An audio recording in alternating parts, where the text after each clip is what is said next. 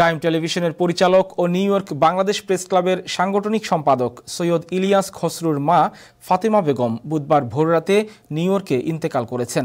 ইন্না লিল্লাহি ও ইন্না ইলাইহি রাজিউন। মৃত্যুকালে তার বয়স হয়েছিল পঁচাশি বছর। নিউ ইয়র্ক সিটির জামাইকার হোলিসে নিজ বাসায় মঙ্গলবার সন্ধ্যা সাতটার দিকে ফাতেমা বেগম অসুস্থ অনুভব করলে তাকে সাথে সাথে লং আইল্যান্ড জুইস হাসপাতালে নেওয়া হয়।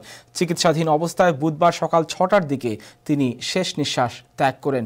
মৃত্যুকালে তিনি চার পুত্র, চার কন্যা ও নাতি নাতনি সহ বহু আত্মীয় স্বজন ও গুণগ্রাহী রেখে গেছেন। তার এক পুত্র ও দুই কন্যা নিউ ইয়র্কে, এক পুত্র লন্ডনে এবং অন্যরা বাংলাদেশে বসবাস করেন। মরহুমার দেশের বাড়ি মৌলভীবাজার জেলার কুলাউড়া উপজেলার ভাটেরা ইউনিয়নে। ফাতেমা বেগমের নামাজে জানাজা বৃহস্পতিবার বাদ জোহর জামাইকা মুসলিম সেন্টারে অনুষ্ঠিত হবে বলে জানিয়েছে তার পরিবার।